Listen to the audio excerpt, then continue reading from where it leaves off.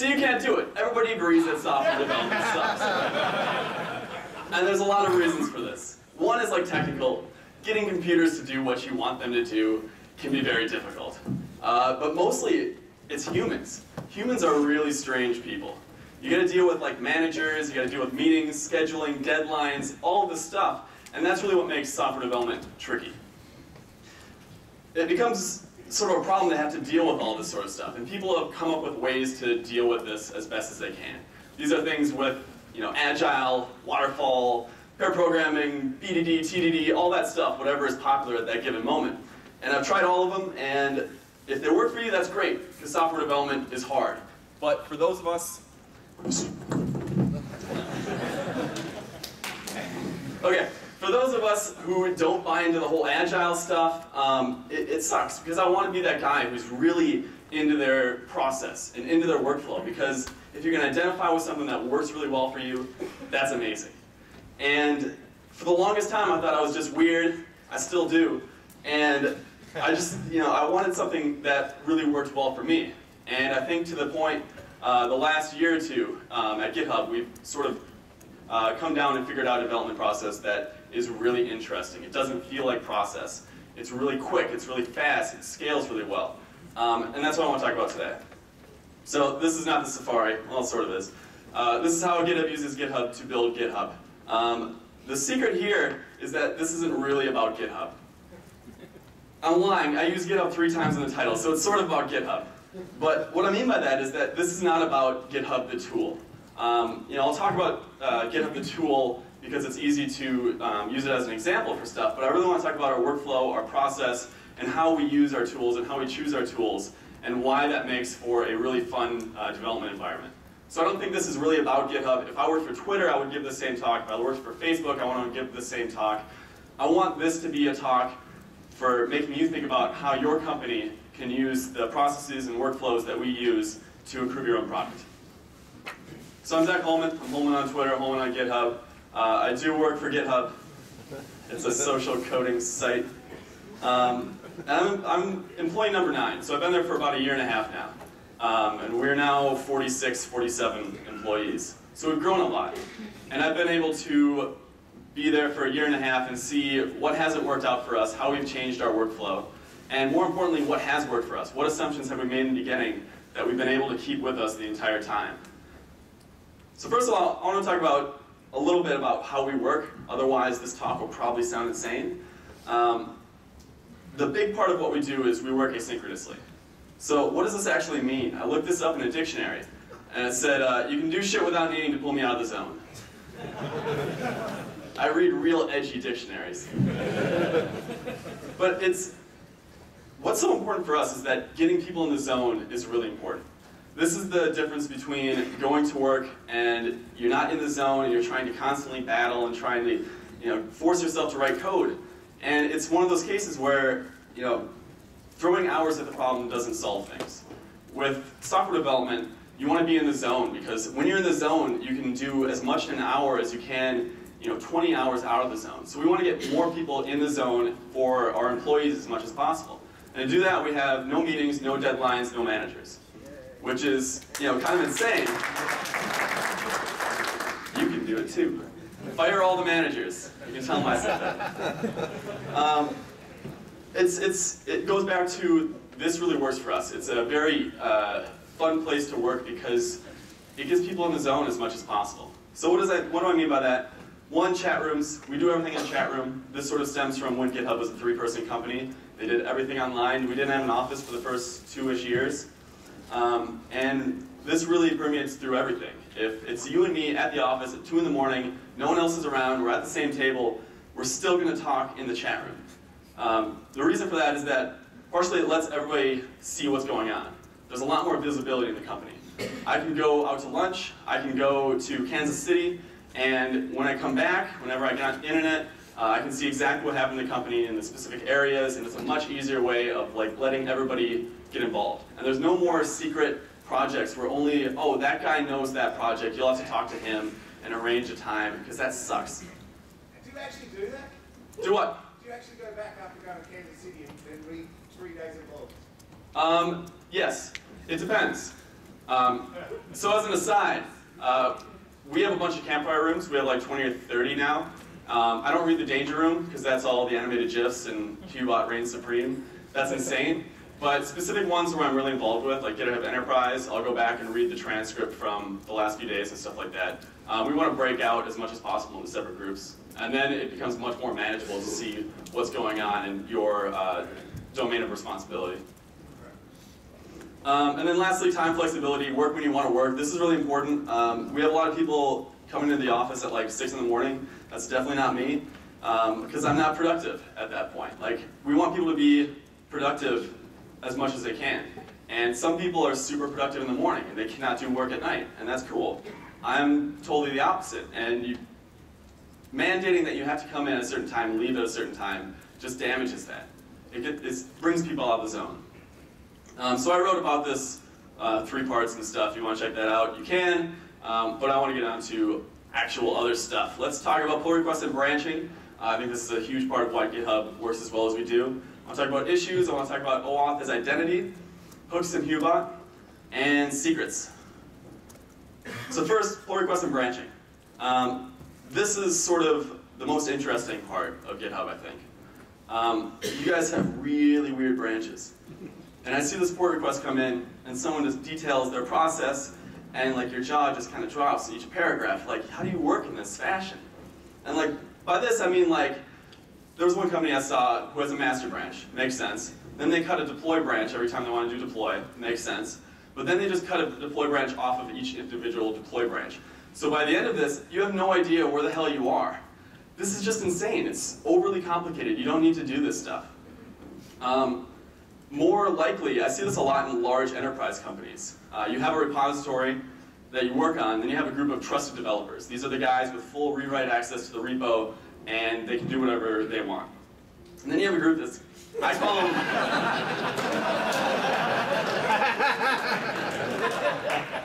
I call them shitty developers because they're obviously must be shitty if they put them on this separate side and they only give them read access, and they're trying to set up all these arbitrary guidelines. And it just seems really insane to me. Um, so what you have is like they all have to fork their own project from the main repository. All those forks then have to go back to the trusted developers for them to figure out, okay, is this good to go back in the real repository? If it's not, then you gotta send back to the shitty developers, and then they have to pull down new changes to the repository. If you see a chart like this in your organization, something is fucked up. Keep your branches simple. I think this is really important. This is fundamentally important. This is sort of the foundation where you build your product. All right. No. You can't just say this and not have a chat about it. All right. It's okay. Oh. I'm trolling you now. All right. Uh, Let's just say there's someone here has that org chart. What's the solution? You mean the stuff I was going to cover in the next minute?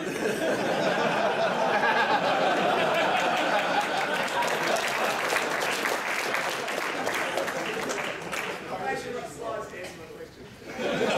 Huh? I've actually got slides to answer it. right? Yes. You know, you, you haven't talked yet. I'm to troll your ass.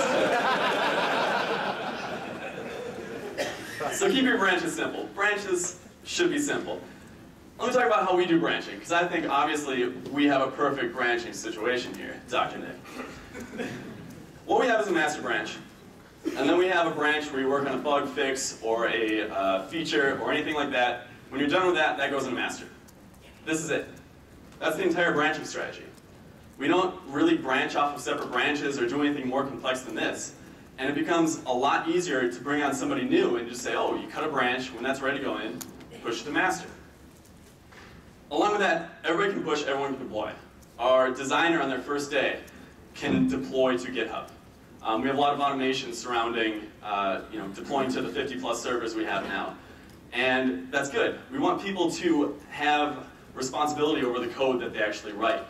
Um, too many times you have something where like a release manager where you push it to the release, release manager and then that becomes their responsibility for the stuff. We want people who write this stuff to be responsible. Uh, this also frees yourself up from micromanaging other people's code, like the trust developers and the shade developers part. You want people to be responsible for their own code. Um, for us, master is always deployable. This is like the one hard rule that is constant at GitHub. If you push to master, assume it can be deployed as soon as it passes CI. Um, the reason we do this is because we deploy 10 to 40 times a day. We like very short changes, and if something breaks, you know exactly what breaks really quickly. Um, if you're nervous, you can deploy to staging. We have a separate staging environment. We can also deploy separate branches, um, then test that out, and then deploy to master afterwards. You can also deploy to a subset, so if you could say like, uh, let me just deploy to two boxes right away and then see if anything blows up. If it doesn't, then merge it into master and deploy from there. Um, this is also sort of Twitter-driven development because you guys are way more on top of things than we are sometimes, and like people will tweet constantly if something breaks. And we have like graphs and stuff where like, you know, number of exceptions and then the deploy is really marked on the graph. And then we mark that against uh, at replies to GitHub on Twitter. And it's actually very proportional to, you know, if you break something, people will talk about it. So keep your branches simple. Um, that's really important. I know what you guys are thinking. You know, what about code quality? If you have a fucking designer in there messing with your code, no one likes designers, they do weird stuff. Um, so how do you keep up code quality? And our response to that is pull requests. This is central to everything we do. Pull requests are code review. What are pull requests? Pull requests are a discussion. It's, it's a simple discussion about a piece of code, a distinct piece of code. Um, it's a discussion about code, it's a discussion about that particular feature, discussion about that particular strategy. All of this stuff comes together, you can do a bunch of different stuff to it, um, you can reference issues in it, you can reference other bits of code diffs in it, you can write code comments. It's all about figuring out how you make a discussion on a piece of code, and then from that point you can figure out, do you want this in the actual code base? All this stuff happens on a separate branch. So none of this stuff ends up being dangerous because it's separate from your production code until it's ready. This is what it looks like. I'm sure most of you guys actually know what pull requests are. Um, but you know, it's title, description, bunch of commits. Once those commits are done, you can discuss on those commits and discuss some more, and then you commit, and then you get merged back into master or whatever branch that you're trying to merge it into. Um, the pull request itself is broken out into a discussion where you can actually talk about the changes, uh, the commits where you can show all the commits, and then the diff where you can actually see what has actually changed in the code. And this is really cool because we're really large at GitHub at this point, and no one person can really dig into every line of code that's changed, but it's important that you have a lot of people know what you're doing. So for a lot of pull requests, I won't look at the actual code, I'll just look at the discussion and see like the title description, and that's a good way, it's sort of like an RSS of what development is happening without having to sit down and do a stand-up meeting or anything like that. I can just see it in my inbox as it goes by, and it's very simple. So I lied, this isn't actually our development strategy. Uh, it's more similar to this, where you branch off, send a pull request, and then merge it into master. And that's sort of the, the guard against getting really shitty code deployed accidentally. Um, so big secret number one, you don't need to fork anything. This is sort of a common misconception. Um, you can do pull requests between branches on the same repo, and that's what we do uh, consistently at GitHub. We don't fork the main GitHub repo all the time. We just do pull requests between individual, branches and then you don't have to set up weird permission strategies to let people into your different forks and stuff. It's just a much simpler way to do things. So why are pull requests actually rad? Four reasons. One, they're asynchronous, no meetings. Um, everybody's had that time where you're in a code review in person and you're projecting code on the wall you're trying to figure out like, okay, you're running it through your MRI in your head and you're trying to figure out, okay, this compiles to this and does this. It's a terrible way of reviewing code. With pull requests, you can easily pull down the diff and run it locally. And you can do that whenever you want. You don't have to have a separate meeting on that stuff. It's really helpful to have it broken away from some sort of synchronous, like this has to get reviewed right now and stuff like that. Um, secondly, email is a good interface for this too. Um, when I wake up in the morning, I can see all the pull requests that have been generated from Europe, for example. And so again, it's just a quite easy way to figure out what's going on in the company without mandating some stand-up, which doesn't even work when half your team is across the world. Um, they're also really accessible, and we use this a lot. Designers evolve entire mockups in a pull request. And that's really powerful too. It's like sort of version control for mockups. You can see as you go along what the, what the, the mockup has changed over time. You can discuss on that too. Um, we also have a bunch of non-technical staff. Like we have a, a shipper who ships out all your beautiful shop stuff. And she can go in and check out a pull request. Like, this is going to change the shop.github.com site. Can you actually say, like, does this make sense? Yeah, she doesn't have to go see the code diff, but she can see what's actually happening and you know, check it out. Uh, they're also historical. They can be experiments, and they should be experiments. We have a lot of pull requests that are designed not to ever get deployed because we want to see, okay, what do you guys think about this interface? What do you think about this API? Like, does this make sense? If it does, then I can just close the pull request and then actually build it for real. Don't be afraid to try something out, throw it away, because GitHub retains the history, and they should be really fun to, to make. You should not have to fear about doing some insane experiment when you're drunk and seeing how it works out. So I want to show you just a couple of quick pull requests that we do at GitHub. Um, it's a little bit more context. Status.github.com, there was a problem a while ago, again, where you guys caught stuff before we did, or more, uh, more correctly, we would get like the notifications that something is down, but it took us another couple minutes to actually update the status site. So I added something, uh, just real-time polling of different services on github.com just to see if they're up, and this is a pull request. Now I started out just with a bare bones interface, and I just dumped this on a page. It would check this, and I didn't have to care about styling or anything like that. Because I knew once I posted this, somebody would come in and be like, I want to design that. And it, that's what we have a lot, where designers are just going to sort of you know, see what's happening in the company, and when it's ready for them to come in, they'll do a design. At that point, I have a design, and I can build on that. I can commit to that design, and then just match it, and it's very easy for me. I never have to worry about that in the slightest. And there's no upfront meetings. It just all happens very asynchronously. By the end of it, we close it, merge it, ship it, and that's it. It's very simple, very easy. You should not be afraid to mix your designers and developers. They should work together. Uh, just like pull requests are kind of scary from a designer's point of view, but they don't have to get into the nitty gritty if they don't want to. It's, it's helpful for them to get into the discussion section. Don't be afraid to post screenshots a lot. Um, you, can use, do, you can use this in the Markdown, um, which I'll show you in a couple seconds, but um, it's very good to be very visual, even on back-end stuff. Um, you can also post GIFs because they're funny. We do that a lot. Um, we also have something called uh, code editing, or it's a syntax highlighting in your code editor. And this was like earlier this year, and this entire pull request, we did all this stuff, did this bunch of discussion, and then we're like, fuck it, it doesn't work. We can't do it, close it, and that's it. That's important, that's still really good, because they're cheap as hell. You shouldn't be afraid to experiment.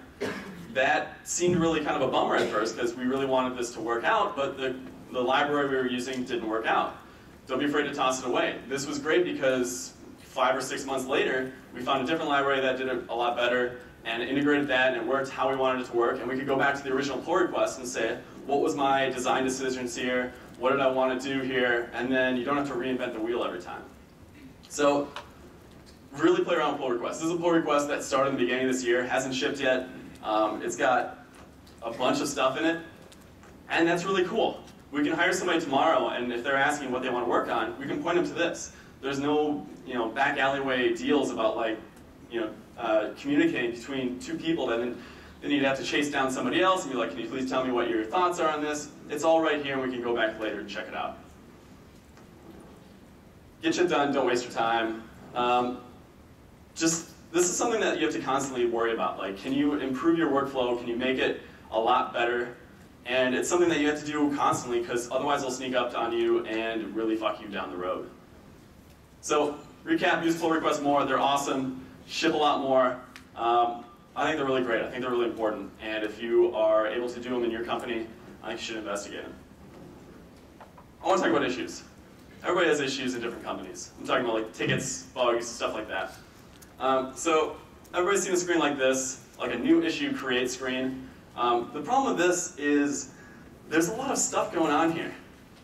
And some of it makes sense, and you're like, okay, yeah, that's cool. And then they just layer more and more stuff on there.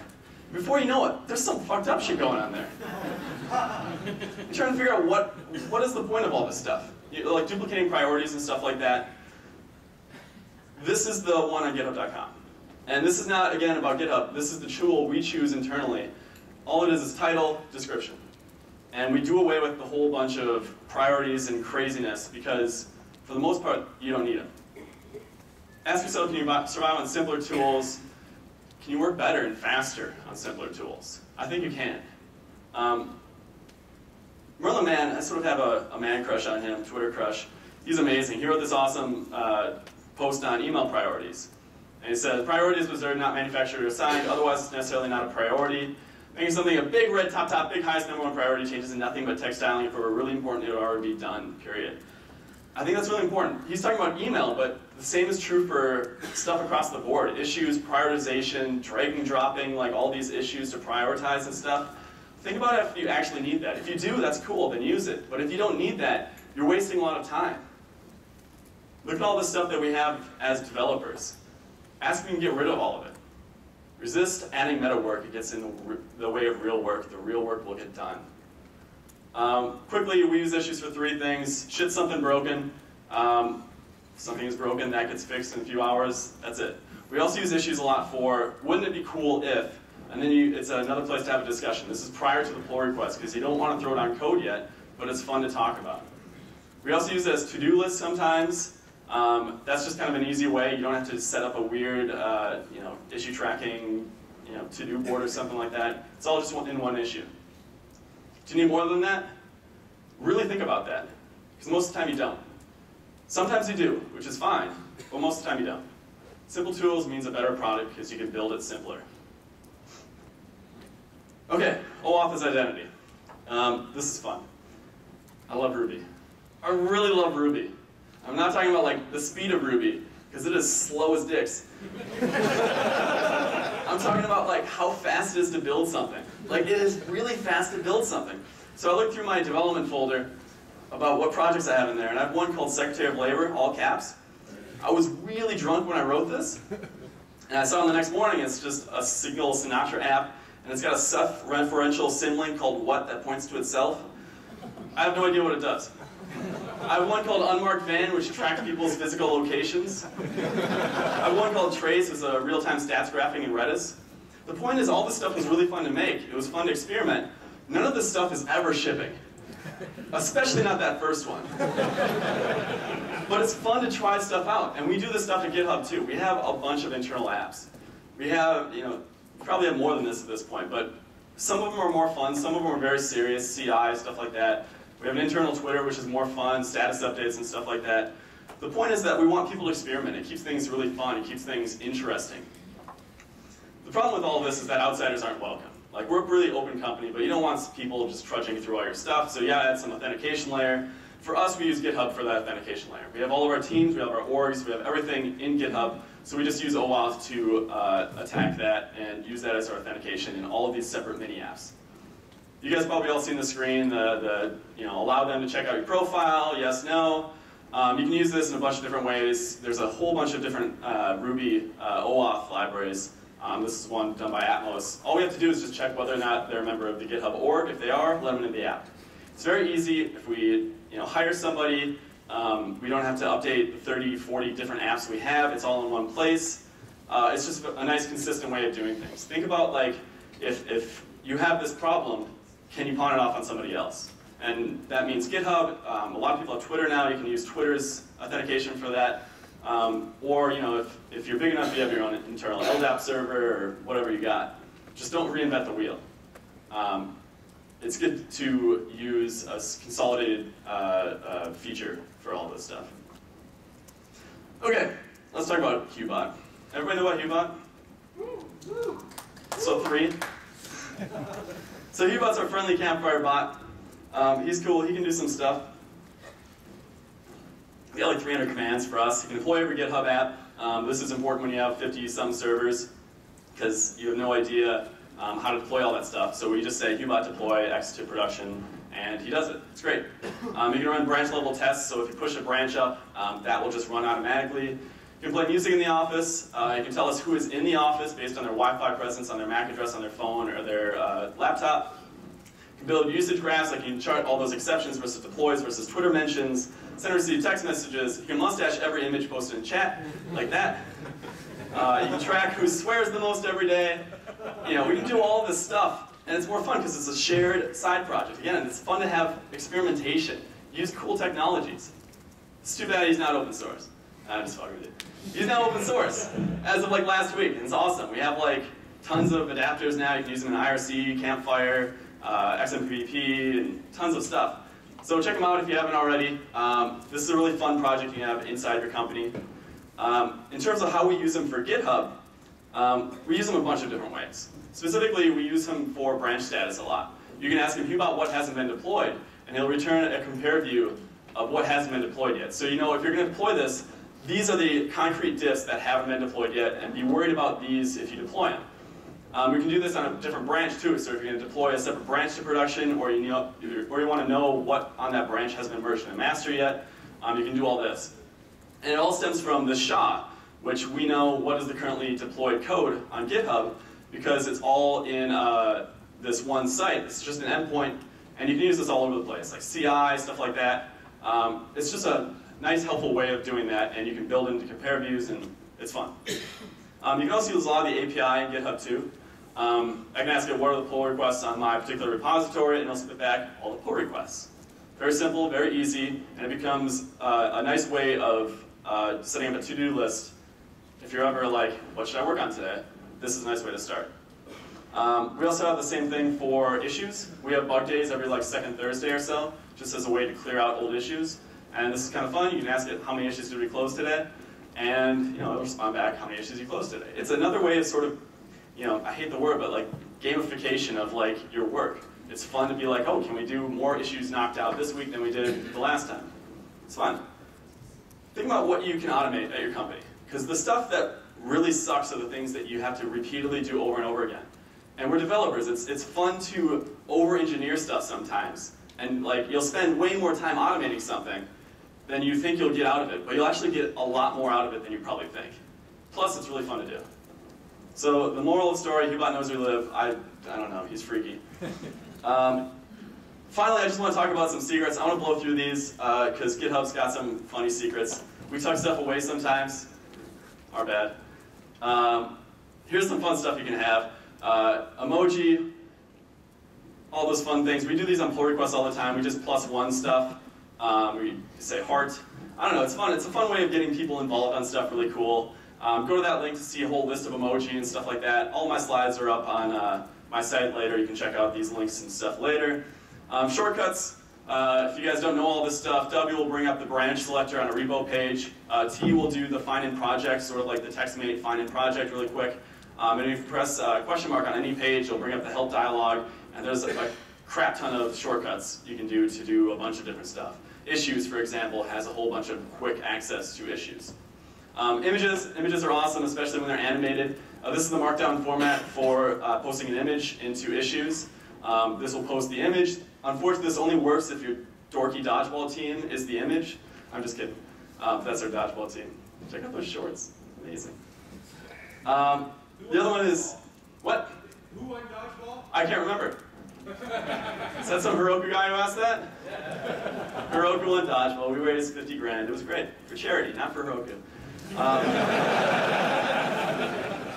also, different patch. I mean, Git was based on a mailing list um, point of view, so all of the stuff that we expose on GitHub is also available in text, basically. So just add .git, uh, .diff or .patch after most URLs, and we'll spit out a nice thing that you can put directly into Git later.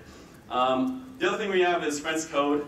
Um, this is sort of a, you get the formatting of any code that you paste into issues, pull requests, stuff like that. All you have to do is triple tick and then say what language you want, and then it'll syntax highlight for that language. A nice quick thing to do, especially do it in readmes, because readmes with just blocks of code in them kind of sucks. It's nice to have that syntactically highlighted. Mentions, we use this a lot. If you're going to open a issue, we'll usually add like cc, you know, at technoweenie or at defunkt, and then that will notify them and get them to put their eyes on your pull request. It's a nice way of just having communication amongst your pull request issues, stuff like that. White space, you can add uh, question mark W equals 1 to reduce white space in diffs. Um, sometimes that's really helpful if some guy sent a pull request with a whole bunch of white space changes and you're like, I don't even know what you're changing. Quick and easy way to do that. Uh, repo references, uh, you can cross, you can reference issues and pull requests across different repositories. Um, so you just, in your uh, issue body, you just say like user slash repo number sign issues, and then that will bring in the link on the referenced issue, and it'll just connect the two visually in the, uh, the, the web page. It's kind of nice. Um, I have a pseudo announcement right now. We have a, a URL shortener we've been using for a while now.